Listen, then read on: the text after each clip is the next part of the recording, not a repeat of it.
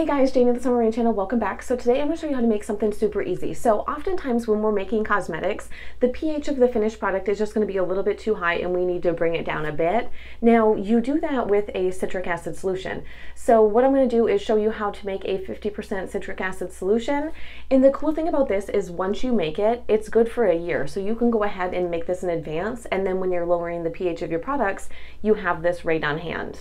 So what you want to do is go ahead and put a container on your scale, push the tare button, which is going to give you all zeros while the container's on it. Now I'm also going to change the unit of measure on here. So normally I do it in ounces, but in this one I'm going to go ahead and do it in grams because we're not going to need very much. So I'm going to start out by doing 10 grams of citric acid.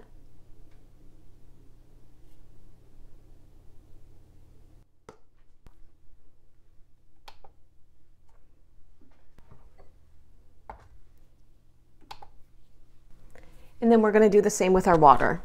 Now for the water, you want to make sure that you're using distilled water.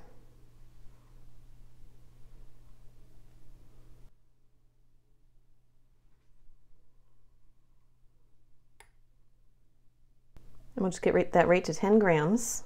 So I'm going to take the water and I'm just going to move it into this container.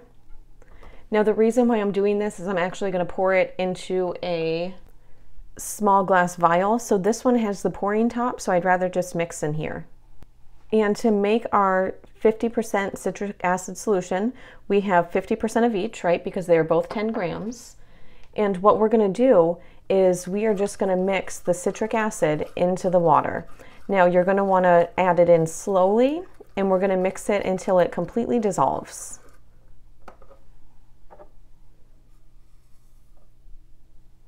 It's going to take just a little bit of patience here to get it all mixed in. Now the cool thing is once you have this made, it's going to keep for about a year. Now I'm going to allow this to sit for just a few minutes and then I'll come back and mix it some more. Now I allowed this to sit for like a minute and as you can see the citric acid has fully dissolved into the water. So now what we'll do is we'll grab our container. You want one that's a dark color and you preferably want one with a little dropper top because you're not gonna use very much of the solution. And what we're gonna do is just pour the solution right into our bottle. Put the cap on it. And then I'm gonna go ahead and label these. So I'm gonna put 50% citric acid. And I'm going to put the date on here because this is going to be good for one year from today. And I'm just going to go ahead and pop this on my container. And I have zero patience, so I've already smudged this a little bit because I didn't wait for the ink to dry. But I'm just going to pop a piece of tape over top of this so my ink doesn't run all over the place and I'll be able to see what it is and when I made it. Now, whenever I need to use the 50% citric acid solution, I have it right in this little bottle with the dropper top, so it makes it super easy to use. And that's how you make a 50% solution of citric acid. I hope you enjoyed the video. Bye!